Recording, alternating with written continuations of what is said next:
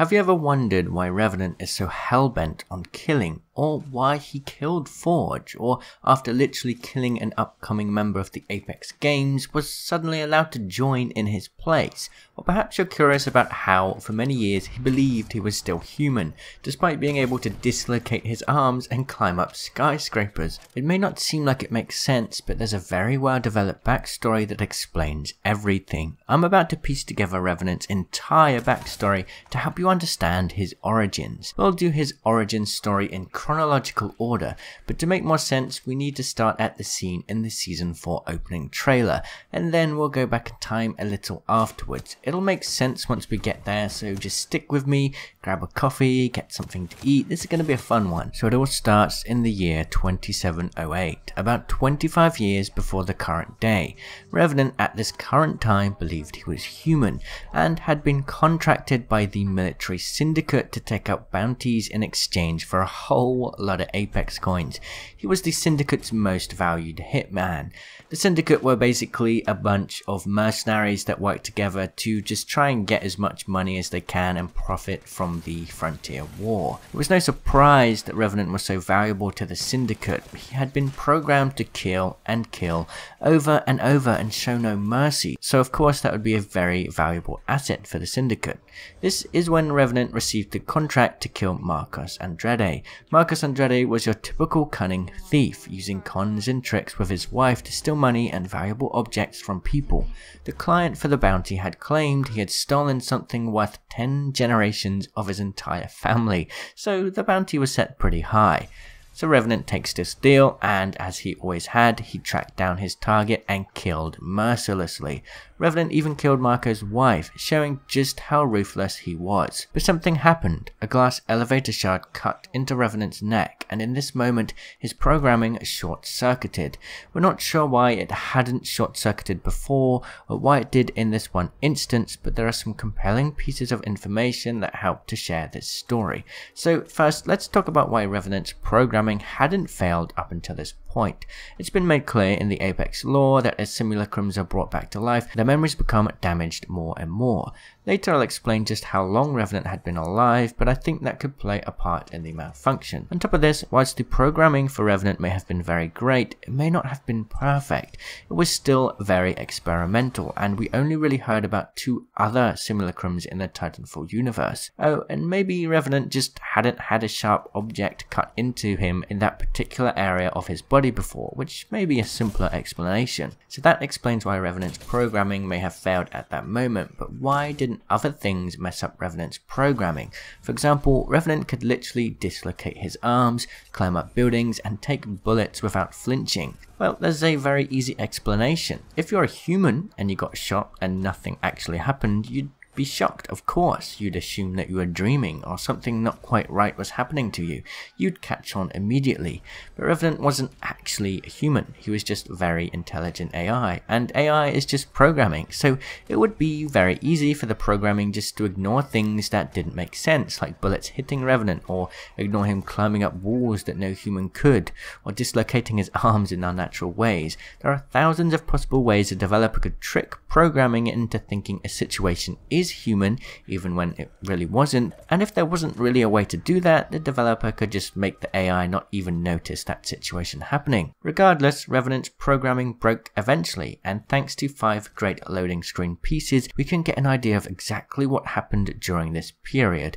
We know that the following five loading screen descriptions happened in the year 2708, so all of this was still when the Frontier War was going on, and 25 years before the Apex games had even started started. This all also happened as soon as Revenant realized he wasn't human. I'll read them for you because it will help to paint a picture of Revenant's internal struggle at this time. Your first horrific thought is, where's my tongue? Never mind the piece of elevator stuck in your neck, or the fact that you're not in any pain. Why don't you have a tongue? And that's when you see it a blip at first, like static in the air, a glitch, and within that glitch, a face. A new face? No, not new. It's the face that chases you in your nightmares, the face that leaves you twisted in sweat soaked sheets. Except this isn't a nightmare, it's a mirror, and that's not your nightmare. it's your reflection. This is the moment the program breaks down, when you realize what you are, and the next thought you have sends a bolt of ice down your spine that will stay with you forever. Who gives a crap about not having a tongue when you no longer have a mouth? So the first loading screen reveals that whilst Revenant was clearly programmed to think he was a human, there had been problems with his programming. In his dreams, he would have nightmares where the real version of him would haunt him. Obviously, trying to make an AI believe it is human has its problems. Everything you know is a lie. The toothbrush on your sink, lie. The coffee on your nightstand, lie. The bacon in your fridge, lie. Is anything real? Yes, lots of things are real, like that time you drowned because nobody heard you banging against the ice, or when that bomb went off and you learned what it felt like when your eyeballs melted in their sockets, or the time you refused to beg for your life even as the knife plunged into your chest and you heard the sound of your own skin tearing and the blade scraping against the bone inside you. Hitmen don't die peacefully in their sleep. Hundreds, thousands of these horrific deaths crash into you all at once, someone must pay, must suffer. That's when you know your first stop. That's when you go to the syndicate. So this next loading screen is quite unsettling, but tells a really good story about Revenant's programming. So despite the option for Revenant not to feel any pain, the programmers still decided to program him to feel as human as possible, which meant every death that he had experienced, he really truly felt. The pain felt real. I mean, they didn't have to program Revenant like this, and it really is quite immoral, very immoral in fact, to create such a being. So it's very clear Revenant's creators are very evil. The loading screen also ends with Revenant talking about hunting down Syndicate members to find more about what had happened to him to make him like this. Imagine finding out all of this information and suddenly realizing you'd spent so long of your life living this horrible, twisted lie, and an organization was responsible. Of course, Revenant would strike revenge. His name is Lowell, and he's sniveling about his kids. You'd roll your eyes. If you had eyes, because now you understand. They're just bags of blood and tissue, goop, dressed in suits of skin, then nothing, like you were nothing. You dip a finger into the open wound on his leg and run a finger along a tendon like a bow on a violin string. He screams that he'll tell you. You lean in, his tears sparkling from the glow of your eye sockets. It was the cleanest kill, he blubbers. Just enter the mark's name in the program. Day later, they're dead. Completely untraceable. The perfect crime. You break his nose on the 8 on your handplate. And Hammond Lau whimpers that they made the parts, that's all. You decide to teach Lau a thing or two about parts, starting with delivering Lau's to his kids personally, before moving on to Hammond Robotics. So this third loading screen reveals that after hunting down Syndicate members, Revenant found one that revealed that they just basically type in a person they want to kill into the program, and then Revenant simulation will kick in and he'll believe that he has a bounty to kill that person. It's like as simple as that. He also revealed that Hammond Robotics were responsible for making parts for Revenant's body, which explains why there is a big Hammond logo on Revenant's hand. So of course after this kill he goes to seek more information from Hammond, but at this point it should be clear that Revenant's starting to evolve his mindset a little. He's realizing who he really is and is starting to build a hatred for humanity. It's something he had longed to be, but he despises humanity so much for torturing him into living this endless life of constant killing and dying over and over again. You break the Hammond technician's spine on a bed of honeysuckle. He told you everything, how you're uploaded into a new shell upon death, memories wiped, lather, rinse, repeat, except hard drives are never really erased, and everyone knows when you make a copy of a copy, quality breaks down. Blood trickles from the tech's mouth. You've been there, except you don't have blood. What was it then that tasted like pennies when you took a right hook? You snicker, of course. Your faceplate, it's copper plated. Ha, now that's funny. You ask the tech how long it's been. He points to a bloody file nearby. You scan it. Earliest Revenant upload was 2420, 288 years ago. Your Dr. Frankensteins have been dead for over two centuries, a luxury you're not allowed. This is hell, and you're eternal. You wake the tech up. You're about to take 288 years of pent up rage out on him. It's no fun if he isn't conscious. So this loading screen reveals more details about Revenant, but also that his oldest memory file was in 2420, 288 years before 2708, which is when he killed Marco and went on this killing spree on Syndicate and Hammond members. It's also the year that Revenant found out his true identity. We'll jump back to that year in a minute because it's important for Revenant's full story arc, but first let me read the final loading screen. Now there are no more lies, and soon no more Hammond. You target one Hammond facility after another, and the skin suits are too busy waging war to care. They blame the militia, write the dead off as casualties of war. It's not really a lie, it's someone's war, just not theirs. When you slit the last employee's throat, now what? Whatever your heart desires, I suppose. Except you don't have a heart, and all you desire is what you were programmed to do in the first place. Question, who gets to die next? Answer, anybody you want.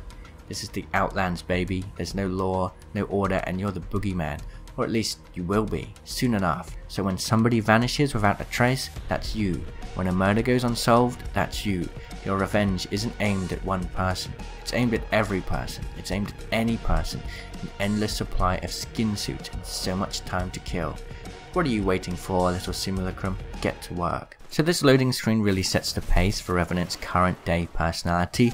After finding his truth and realizing that he'll never be able to enact revenge on the person that brought him to life, he realized that he's just stuck in a life where he just cannot die. He's endless, but ultimately his programming still reigned supreme, and his urge to kill was strong as ever. So that meant he had to just give in to his programming and go killing, even if there was no reason for it anymore. So just to note, this last loading screen was still in 2708, and the Apex games wouldn't open for another 25 years. So before we cover that jump, let's just take a reminder that Revenant had already been working for the Syndicate to hunt down and kill bounties for 288 years up until this point. Revenant was perhaps one of the Syndicate's biggest assets. So after losing him due to his broken programming, the Syndicate of course suffered a big loss. But it wasn't such a big deal because roughly 20 years later the war ended. We don't know the exact time frame here, but we know that in 2728 the Apex games were opened. Now, one very important thing to realize here is that the Apex games were hosted by the Syndicate the very same organization that essentially owned and controlled Revenant. So we can assume that the syndicate had built a lot of money from taking out contracts and doing different things in the war.